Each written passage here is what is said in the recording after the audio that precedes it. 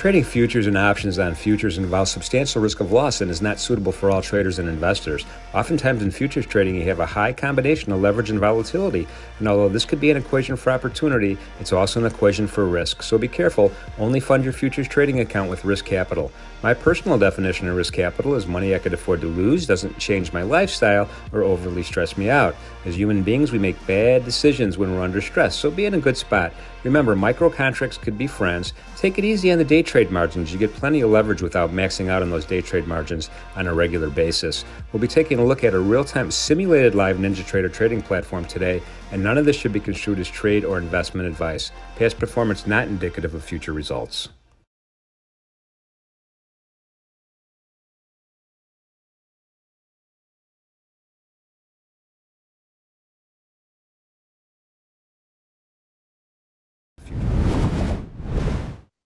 Good morning, everybody. Welcome to See the Futures. My name is Jim Cagnino with NinjaTrader. It is November 15th, 2023. Appreciate everyone being here at See the Futures. We have a great guest today, uh, first time on the show. I'm going to bring him in right away. Uh, Toby Mathis is with us today from Anderson uh, Tax Advisors. Toby, good morning. Hey, thanks for having me, Jim. Did I get that right? It's Anderson Business Anderson Business Advisors. Everybody knows us just as Anderson. We've been doing this for 25 years. Eh, you know, it used to be Anderson Law Group, but we're not just lawyers. We got the CPAs, the bookkeepers. We got everybody there. So this is great, and and you know, I my my accountant is also an attorney, and in my thought process was, well, I I want to have I want to have an attorney behind me just in case I get into trouble. I've never gotten in trouble, thank God, but um, that's that's a double barrel benefit. That is uh a lot of people don't realize that they it does start to merge over like and so many people are used to being ping-ponged you know you go to your lawyer and they say hey set up this but then go talk to your accountant and then your accountant says what the hell are they doing? And they say you should really do this and this and go talk to them then you go back to the lawyer and says well my, my accountant said this. Oh they're all wet. You know they're not considering this. You end up like after about 10 of those you start realizing that somehow they've conspired with each other to just build the hell out of you. Yeah, I, I know. I've been in that boat too for other businesses as well, but uh, um, it happens sometimes. But so you've your specialty though is kind of focused on traders, right? Uh, investors as a whole. So it's real estate, okay. it's stock, it's uh, even note investors, but where we cut our teeth and it was 1999 that we opened our doors is really on the stock market when it first came out where people could uh, retail trade you know? A lot of folks don't realize that before that it was a nightmare to try to actually be in the market. Now we're so used to be able to pick up an app and buy and sell they you don't realize that it used to that that, that little thing right there would cost you 100 bucks and you had to use a broker you know? So uh, all of a sudden it came on and there was all sorts of uh, bizarre issues because nobody had really contemplated retail investors. So before let's go back in time before 1999 and then we'll catch up. So you spent some time in Seattle for school, right? Yeah, so uh, yeah, grew up in Philadelphia, moved out to Seattle, moved on to an island in the Puget Sound. So I went from Philly to an island, which uh, that was easy transition. uh, lived in lived in Seattle think, for 25 years. That's where we started Anderson. Have a partner up there and an office up there. Um, and uh, yeah, Seattle's an interesting place. Uh, spent a lot of time in the Pacific Northwest. Played uh, soccer for Seattle U. If you, if you have any soccer folks, you'll know. Uh, and uh, came down to Vegas in 2007, just in time to watch it implode. And that was uh, it's a spectator sport here. We just hey how, how how far did your house drop in value? Oh mine's down 50 oh that's nothing. Hold my beer. Um, you know was... so so this is this is the so this is the mortgage crisis you're referring to. Obviously 2008 hit pretty hard. Las vegas probably probably was hit harder than other places right? It was the number one city for just getting smacked. I think we lost 75% of our values which then you you learn to get into real estate investing when that happens when there's blood on the streets right? By by mm-hmm. real estate? Well there was uh there there was a lot of blood on the street during that period of time. Got it. Well so you, you settled it you settled in las vegas. You identified the sweet spot 1999 where we had really uh, the emergence of the online trading community for retail, uh, not only futures, which was, I think, a leader back then as well, but mm-hmm. also, you know, the direct access, NASDAQ direct access level two day trading that, you know, a lot of folks have uh, participated at when those really nice trading platforms came out uh, way back then. And that was a niche that you kind of, boom, hit right away. Exactly. Because there, there, there's, uh, a lot of unfairness in the tax code. I'll just be the first one to say it. Uh, when you are a, a, uh, stock trader and you're trying to do it as a living, uh, you're not allowed to have expenses. Like you pretty much can write off your margin interest against your uh, income. But uh, if I opened up Toby's Toby's Pizza Shop, you know, bought myself a big old maybe I got three unis in my and I decided I'm going to be a pizza guy. I can write off just about everything that's associated with that business. But you can't do that if you're a if you're an investor. They just, for whatever reason, it's not codified yet. There's no objective test.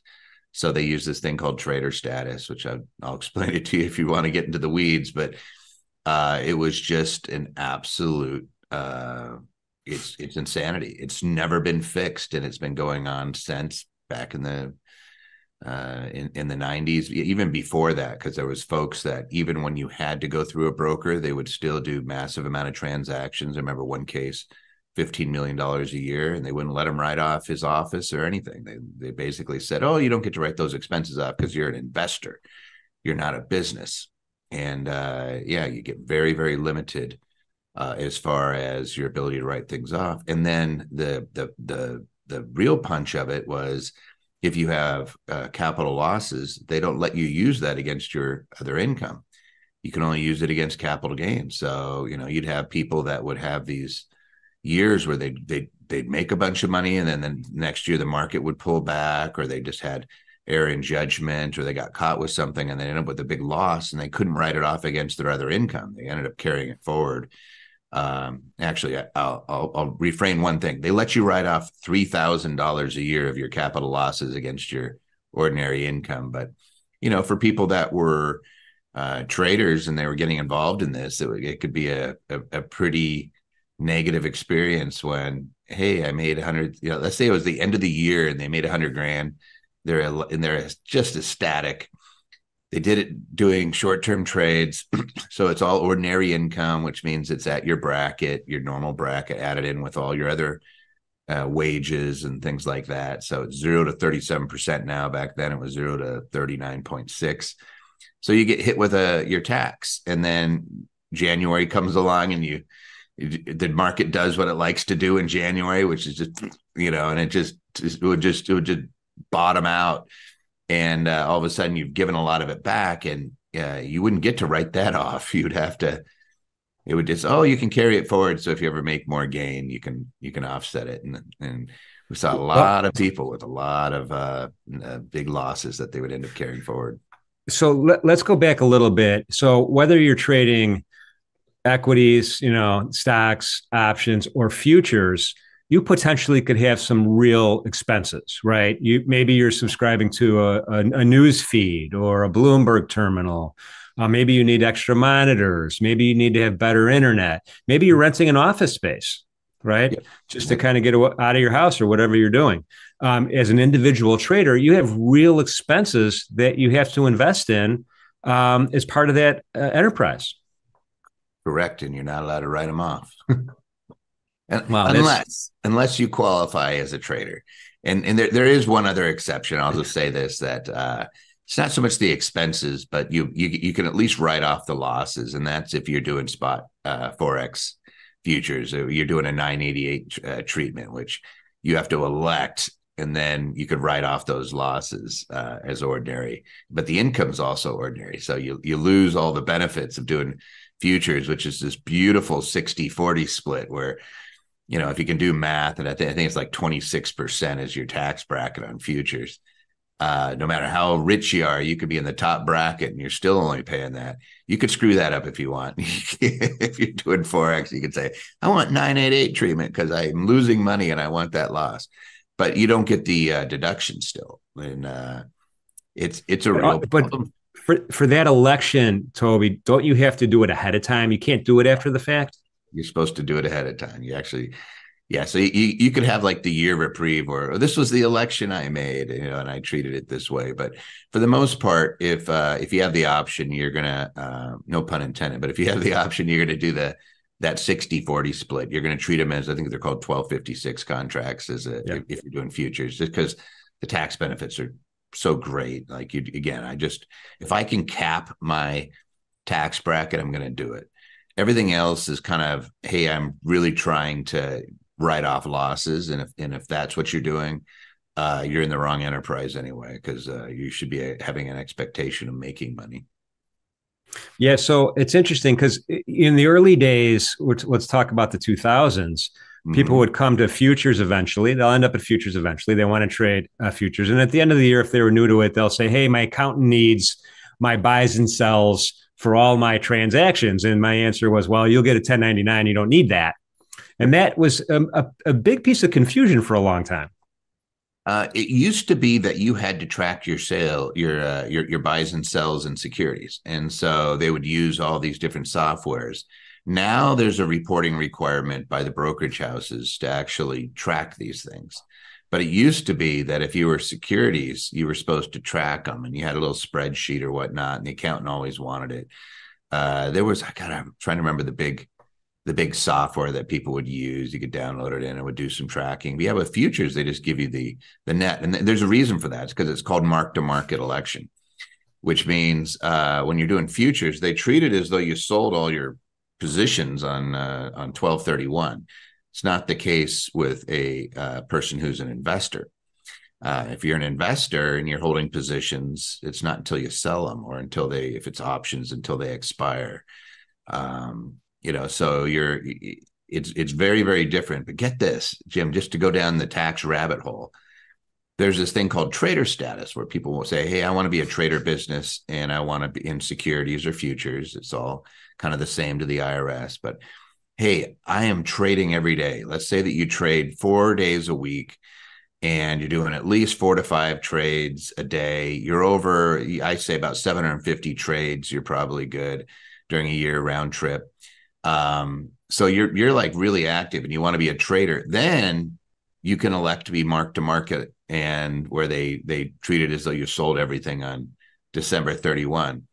And I remember people doing this.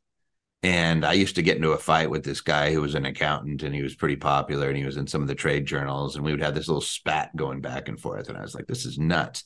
And then Qualcomm happened. And I think it was in 99 or 2000. Qualcomm ran up like a beast at the end of the year. And then it just dove. Like for three months, it just tanked. I think it went up, I want to say like 600 bucks right at the end of the year. It was just doing this crazy. Every time you'd turn on the TV, oh, it's up again, another 20 bucks, you know? So everybody's making, I had leaps on it. So I thought I was a genius. I, I was going to, I was ready to retire because I was so dang smart. And uh, like, oh, look at me, I'm a trader. Um, and so these folks that make the mark the market, boom, you they treated it like you sold everything on that just on that uh, December 31st. Well, if you were one of those people and then you didn't sell right away and you held your position, there's a good chance you couldn't pay for the taxes that were owed on that come February, uh, come March and uh, April. And I remember that year distinctively because you had people destroyed because they'd made that mark to market election. And they're like, why did I do this? And I was like, because if you do that, then your accountant can write off your losses against your ordinary income. That's why they did it. So, the, so the, the bad news is you're going to get completely hosed on a on a deal. You didn't sell it. You shouldn't have like it went up and it went down, and they they treated it as though you sold it at the top of the market, and you're just going to get the snot kicked out of you. But but the good news is you can write it off. like, congratulations. You know, yeah, but, yeah, but I've, I've yeah. You, you, yeah, you win. You win. So let what let's say I, I want to achieve that tax status for myself. I'm I'm trading futures. Maybe I'm doing some options on the side. You know, uh, every day I'm doing it. I don't have another job. You know, this is it. Um, maybe I'm successful. Maybe I'm not. How do I have to? What do I have to do to qualify? So there's no actual test the uh, test they use, and you, you go, you can pull it up. I think there's a publication on it. I'm trying to think it's 426 or 429, one of those.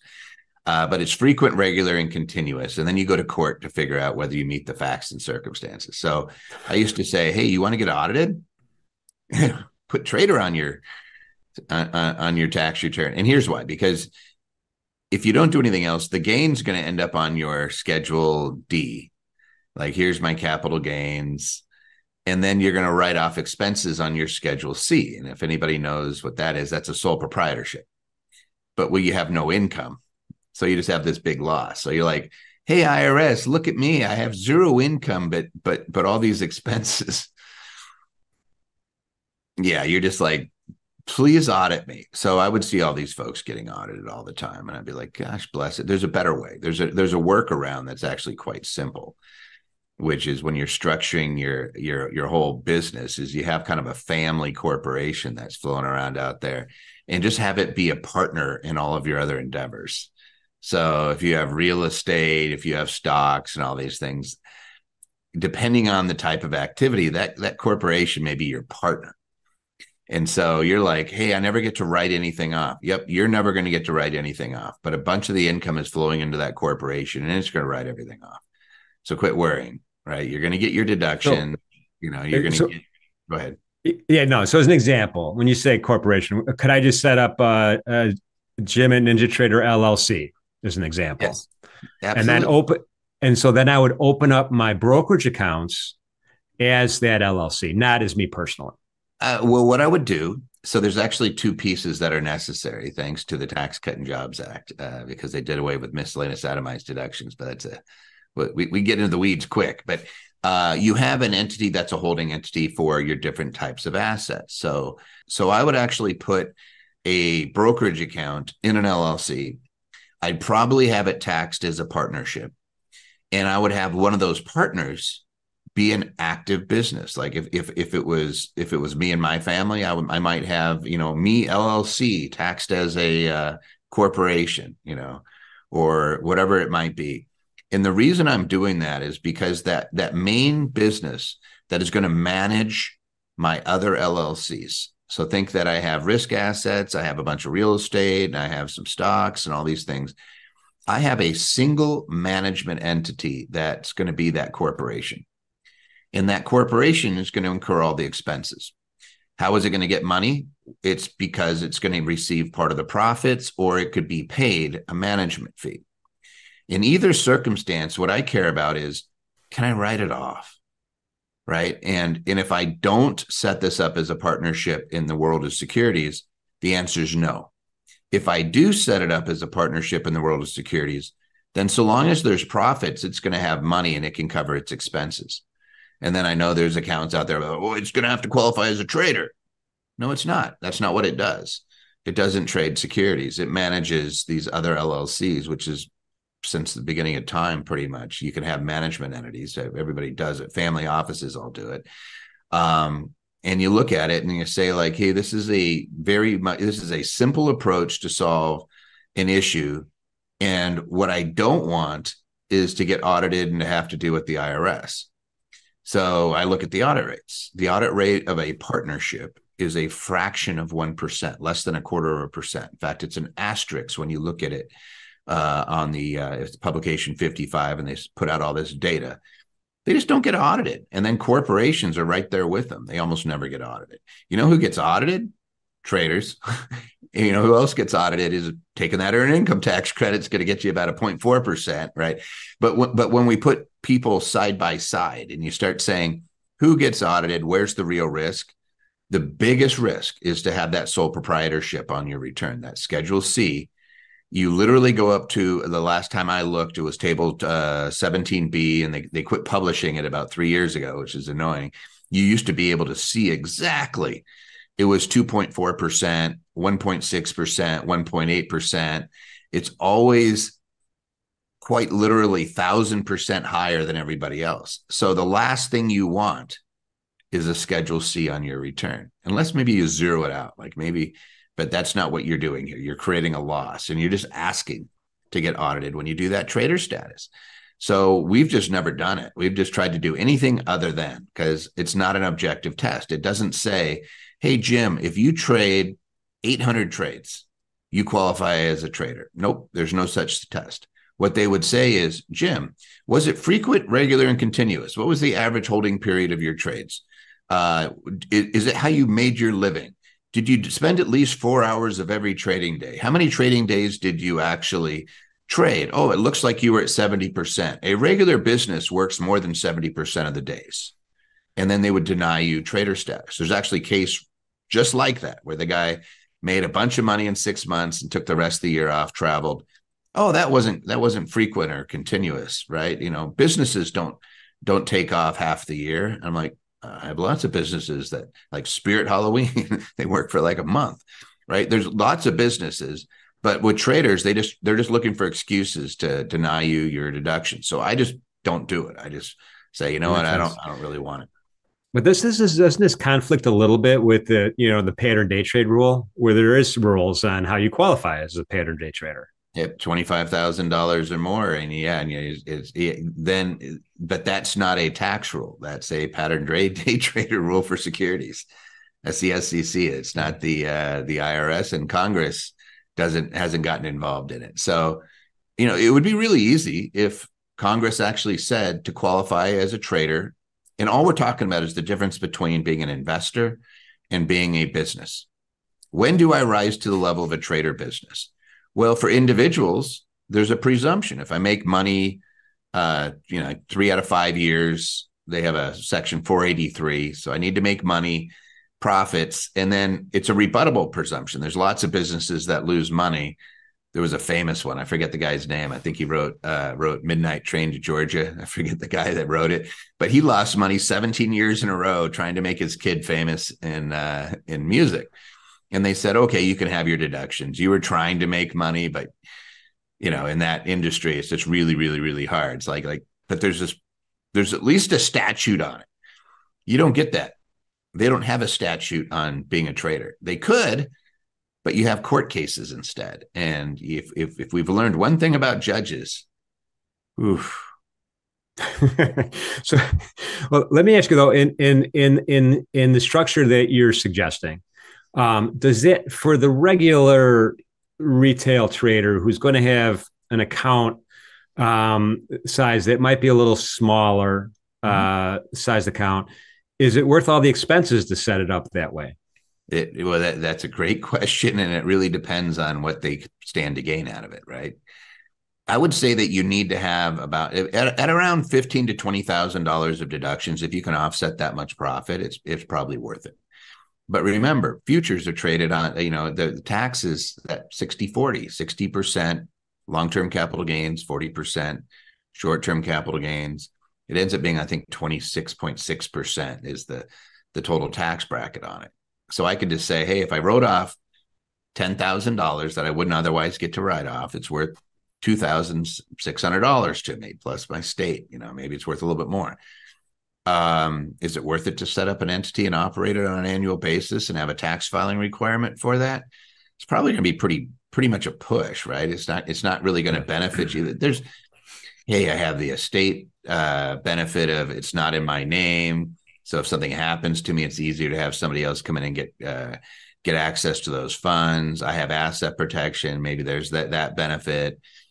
Uh, but you you know you're right on that line, and I don't know whether it would make sense. Uh, it's everybody. It, it's up to that individual. They have to make the decision themselves. If you're making a hundred thousand dollars a year and you have thirty thousand dollars of expenses because you go to conferences and things like that that are disallowed explicitly for investors, and you like to spend money on education or maybe you have a, trade group that you belong to and they're spending those fees those folks may say yeah it's a no-brainer yeah i can't write this stuff off otherwise i'm yeah. gonna I'm gonna do yeah. it as so, a family office and, and there's a lot of expensive potential education i mean buyer beware you got to be careful because there's a lot of what I'll, I'll say it bogus uh, education where you pay a lot of money, you don't learn anything. But it's it's part of the there is a continuing education process, and you always have some really good educators out there that charge money, and it costs money to go to go to trade shows and online trading expos and all that stuff. Yep, and you can't write them off as an investor, which is the weirdest thing in the whole world when I look at it, because every business does continuing education. Every like i'm a i'm an attorney. I'm required to do it. I have to do continuing legal education every flipping year every every other year i have to report it but i have to constantly be going to these courses right? Could you imagine? Hey uh, you can't write that off. What are you talking about? You know that would that that would that would stink all if i was that business uh, but yeah the tax rules aren't fair they're not really designed for fairness. They keep this ambiguity there because it benefits them. Uh, there's so many cases where you're like, really, really, you're going to deny that? Ah, oh. like there's so many cases out there where people get denied trader status, and it really was the way they made their living. But the courts always they're really good about finding a way to, oh no, yeah, no, you don't quite meet. Hey Jim, it, it looks like you you were close, but you don't, you know, no, no cigar. Or what we oftentimes see is this mark to market election. They want to, uh, I'll, I'll put it this way trader gets you the ability to write off your expenses on Schedule C, but you're still reporting your income on D. If you want to make the income a th- those losses into ordinary loss so I can use them against my W 2 income and I'm not subject to the capital loss rules, I need to do a mark to market election. So I have to do two things. So there's a whole bunch of court cases where somebody loses money. I think there was a lawyer who was a big PI lawyer, and I think he lost uh, 10, 15 million bucks, right? So we're not talking about a small amount. If I can write that off against my income, it's worth five or six million dollars in tax savings. If I can't, then I just have 15 million of loss carry forward that I may never make and I never I may never get to use. And the IRS, you know, looks at him and says, "Nope, um, not going to happen for you." Uh, no matter how big the volume is, they're going to find a reason uh, as to why you're not qualifying, and you just don't want to put yourself in that situation. You have to go in front of a judge. It's expensive if you've never had to pay lawyers to go to court for you. Just just think of the joy of a few months of that. You're dealing with the IRS, you're dealing with a lot of uncertainty and stress. And it's like, yeah, I just, I just don't want to do that. Yeah. And you would think, I mean, all this subjective stuff would eventually, there'd be precedent set eventually where it's no longer subjective.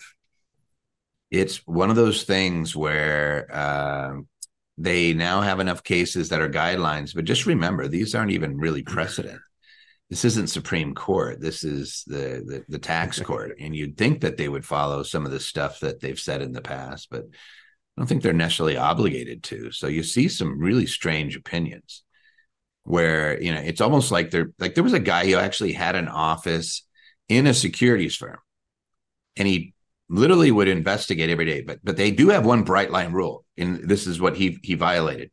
If your average hold period is greater than 30 days, you're not a trader. So this guy was definitely managing his investments, but think Warren Buffett, right? Yeah. He was trading his own account. He managed millions of dollars. He did well, and he just wanted to write off his expenses. Nope, you're not a business. Wait a second. I buy some low cut Levi's and I get a, a couple tools and I could be a plumber tomorrow, right? I could and I could start writing off all my expenses. We all know the guys that do it, right? You know, and they just immediately open up their business. They're sole proprietor. They can write off everything. They don't have to prove that I plumbed 75% of the days that I was that's where I made my main living. There, there's no such requirement for the rest of the human being. You know, the rest of the population doesn't have that. But for traders, hey, we're just we're just going to turn up the pain on you. So I just try to avoid it completely. I'm like, trade inside your retirement plan. It's exempt, right? If you're you, don't get to write off your expenses, but you're never you're not paying tax on it. Like get a get a Roth IRA, get a Roth 401k. There's there's ways to get sixty six thousand dollars a year into a into a Roth if if you're creative and you know a tax guy that knows what they're doing. But you know, and then trade there. But realistically, if if if you are somebody who's getting started and you need those little bit of uh, deductions and things like that, like you're right, you're you're you're intensive you're doing a bunch of programs or you're you have a mentor that you're meeting with on a weekly basis and you're spending some money there's a again the workaround is just to set it up as a uh, as a family office more more or less Wow, that's great information. We're up against time. I have like a hundred more questions, but uh, we're gonna we're gonna we're gonna table those till next time. Hopefully, we'll get you back on the show sooner than later. Anytime.